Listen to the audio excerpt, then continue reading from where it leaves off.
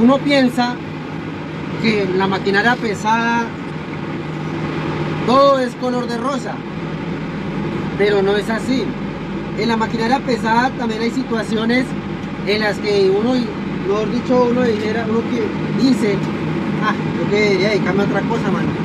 Porque es que en la maquinaria pesada, como en todos los trabajos, porque yo creo que esto no se ve solo en la maquinaria pesada, eh, hay cosas que no nos gustan, por lo menos en mi caso, como operador de maquinaria pesada, eh, detallitos que suceden cuando uno se dedica a esta profesión. Entonces en este video les voy a charlar un ratico sobre las cosas que no me gustan de ser operador de maquinaria pesada. Uno de ellos, que yo creo que mayoría de operadores que se han dedicado a esto, yo creo que los bolqueteros también aplicarían, muleros también, yo creo que más los muleros. Es que muchas veces nos toca trabajar, muchas veces nos toca trabajar lejos de la casa. Nos vamos lejos de la casa porque pues nos van a pagar un poquito mejor de lo que ganamos. Ejemplo, si usted vive en una ciudad, hagamos un ejemplo, que usted vive en Bogotá, la capital de Colombia. Si usted vive en Bogotá, yo sé que en Bogotá hay empresas que pagan bueno, pero hay empresas que pagan regular y hay empresas que pagan pésimo. Entonces, uno se va lejos de la casa de uno, lejos de la ciudad donde uno vive, solo porque uno se va a ganar un poquito más de sueldo que a uno le puede servir eh, en el hogar.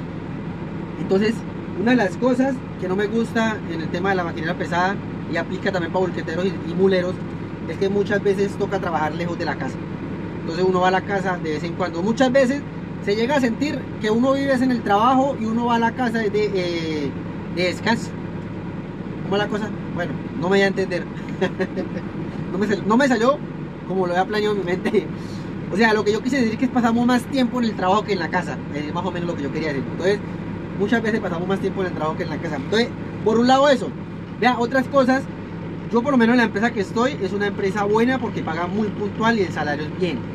Pero yo en estos casi 14 años de, operador de, más que todo operador de excavadora, que es lo que yo he sido, eh, hay personas con las que usted trabaja particulares o empresitas pequeñas que más que todo pasa con particulares. Usted tiene una persona que tiene una o dos maquinitas y usted le trabaja, le colocan un sueldo, le colocan de pronto un porcentaje por hora. Entonces le van a decir, le pago tanto, pero lo liquido por el mínimo. Entonces ya de entrada ya está perdiendo plata porque la liquidación va a perder, porque va a ser liquidado por el mínimo cuando usted va a devengar o va a ganar un salario mucho superior al mínimo. Listo, entonces por ese lado, que le van a querer liquidar por el mínimo eh, empresitas, eh, personas que tienen una, dos, tres máquinas. Eh, nosotros decimos cascareros. Bueno, eh, otra cosa que pasa ah, en esto es que muchas personas, dueños de máquinas que tienen una o dos máquinas, se aprovechan. No todos, no todos, porque claro está que que tienen una dos, o dos máquinas o tres máquinas y son muy legales con el operador, porque saben que el operador le cuida la máquina, saben que el operador es el que le está manejando una máquina que vale millones, entonces eh, eh, esos dueños de máquinas son muy sensatos con, con los operadores y le pagan lo justo y lo que concretaron. Pero hay personas que no sé qué ganan con eso o qué empezarán con eso, colocan un salario, cuadran con el operador y muchas veces, como le digo, toca trabajar lejos de la casa, donde le van a tener que cuadrar la comida la dormida. Usted trabajó bien los primeros meses, eh, puntual, digamos que puntual los pagos, pero llega el momento en, que empieza eh, el pago y espéreme cinco días, después espéreme una semanita, después llega la otra, si es quincenal, llega la otra quincena y no le ha pagado la quincena anterior. Claro está que esto también pasa en las empresas grandes, ¿se me entiende? En la empresa que yo estoy ahora, la empresa es muy puntual en ese sentido, entonces por eso es bacano, hay empresas de empresas, pero hay empresas que mejor dicho, tocó no mejor salir a volar. Entonces, eh, eso por un lado, más que todo se ven los dueños de máquinas, que lo tumban a uno. Usted termina de trabajar ahí y el último mes se lo quedan debiendo o le dicen, eh, usted renunció, le dio una mejor oportunidad laboral y usted le tocó irse y precisamente le puede estar debiendo un, sueldo atrasado o un mes de sueldo y la liquidación. ¿Qué va a pasar? Que muchas veces usted lo empieza a llamar, venga jefe, para que me cuadre la liquidación y lo que me debe. Eh, papito, téngame paciencia, que no sé qué, que no le ha salido trabajo a la máquina, o que la máquina se le varó, o que la máquina no tiene eh, sí, que no tiene trabajo, o que no le han pagado desde la máquina trabajando, que no sé qué, le empiezan a mamar gallo. Y así le hacen y le hacen hasta que lo tumban. Entonces, eso por un lado. Ya después que usted lo tumbaron, ya tumbado quedó, ya se perdió. Entonces, esos son detallitos que yo creo que también se ve también en el gremio de volqueteros que le dan, le dan en la porra, los tumban, no, no les pagan lo que se acordó. Entonces, trabajarle de la casa, que los, los patrones eh, se aprovechen de los operadores o conductores y le den en la porra, no le paguen todo. Entonces, esas son cositas feas. Bueno, hay otra que es cuando digamos usted está trabajando con una máquina. La verdad que yo sé que hay gente que, que volea mecánica, pero hay veces que usted trabaja con una máquina y usted se la pasa más de mecánico que operador, porque todos los días algo le pasa a la máquina. Además que todo pasa con maquinitas viejitas. No hay que ser desagradecido, si toca echar mecánica, toca echar mecánica. Pero todos los días, yo trabajo con máquinas donde todos los días hay que mantener engrasado, lleno de aceite, y usted recibiendo un sueldo normalito, si me entiende? Y mantener vuelto una nada por un sueldo normal donde no, no le van a reconocer la engrasa, la ensuciada, porque usted tiene que engrasar su máquina, pero la boleadita mecánica no se la van a reconocer. Que enseñó una manguera, listo, bien, vaya venga porque eso hay que hacerlo, y cambiarla. Pero tener que ya ir a, todos los días, haga y haga y haga algo, todos los días, eche mecánica. O por lo menos, yo una vez tuve una excavadora que estaba ma mala de carrilería mala la, la tensora ya estaba desgastada, los piñón, el piñón del, el, bueno, los dientes del sprocket también estaban desgastados. Y yo me descarrilaba eh, por lo menos por semana unas 5 veces. Por semana mantenía descarrilado por lo menos 5 veces. Fue tanto así que yo le cogí el tiro a encarrilarme con el mismo balde. Y así cana, dele y dele y dele. Y al principio era berraco porque pues uno encarrilarse pues era difícil porque no lo había hecho. Pero fue así tanto que trae con la máquina que le cogí el tiro a encarrilar con el mismo balde que pues no es, no es difícil, realmente es fácil. Entonces pero son cosas así de que por de pronto no meterle en mano a la máquina el dueño, el operador tiene que sufrir, el operador tiene que llevar del bulto. Por ejemplo, lo de la descarrilada.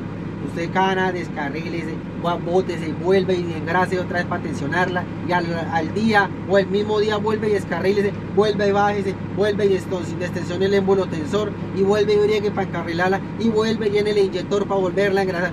Y así, porque eso, digamos, en una, una excavadora tipo 200 se va a veces más el inyectorado lleno, a veces se come hasta dos inyectorados, dos, o sea, dos, sí, el inyector de grasa, se come dos inyectores de esos, a veces algunas excavadoras, entonces usted tiene que estar haciendo cana, eso por, porque el patrón no le mete mano a la máquina, entonces hay cositas así, detallitos que, que, de pronto en este momento no me los sé todos porque hay detallitos que a uno se le, se le van en este momento, se le olvidan, pero hay muchas cositas así por encima, vea, otra que se ve en todas las empresas yo creo, la envidia, Oye, y yo creo que no solo en la maquinaria, volqueteros, moleros, en obreros, en todo trabajo se mira la envidia. Y yo creo que lo más berraco es trabajar al lado de un envidioso. Porque mire, vea, un envidioso no quiere lo que usted tiene. Lo que el envidioso quiere es que usted no lo tenga. Así es el nivel del envidioso, imagínese. Ejemplo, si usted está manejando una máquina nueva y no falta el envidioso, ah, ese man le da duro, ese man no sabe trabajar, bueno, empieza a infamar a sus espaldas, porque de frente te puede hasta saludar, pero empieza a infamar a sus espaldas y de pronto no sabe manejar ni siquiera la excavadora, puede, digamos, que él sea buldocero, pero entonces está infamando de usted, entonces ahí se ve la es un ejemplo, ¿no? Ahí se ve el claro ejemplo de que un envidioso no quiere lo que usted tiene, lo que el envidioso quiere es que usted no lo tenga como le digo, digamos un buldocero que no sabe, no sabe operar la excavadora, pero no lo quiere a usted, le tiene envidia a usted por algo y, y él no sabe manejar la excavadora, pero él tiene envidia y habla mal de usted, va a decir que no sabe trabajar, que no le rinde, mucho, y se ven muchas, en muchos aspectos en el trabajo. Entonces el envidioso no quiere lo que usted tiene, lo que quiere es que usted no lo tenga, así es el nivel del envidioso. Está, eh, por lo menos, eh, lo que le digo, las máquinas nuevas, o que alguien está trabajando en una empresa y uno gana más que el otro. Eh, no, eso en las vías se ven todo, mano. Hasta por si usted compra un mejor celular que el otro, ahí está el envidioso. No, ese celular sale malo. Usted compra un celular nuevo y llega el envidioso. Ese celular sale malo. O llega, yo ya tuve uno de esos y no, eso es más malo. Imagínense, ese es el nivel del envidioso, muchachos. Bueno, ya me despido de este video para no hacerlo más largo. Eh, si de pronto se me pasó ahí por encimita algún detallito feo maluco de ser operador de maquinaria pesada, déjenmelo saber en los comentarios porque yo sé que hay muchas cosas malucas de ser operador de maquinaria pesada. Pero también hay muchas cosas buenas y yo creo que son malas cosas buenas porque Yo me llevo dedicando a esto ya 14 años y la idea es seguir con esto. Entonces son muchas las cosas buenas que le pasan a uno por de maquinaria pesada porque seguimos en esto y la idea es seguir en eso. Entonces son pocas las malas, pero las hay. Entonces hay que hablar lo bueno y lo malo y este video era para hablar lo malo. Entonces nos vemos en un próximo video muchachos.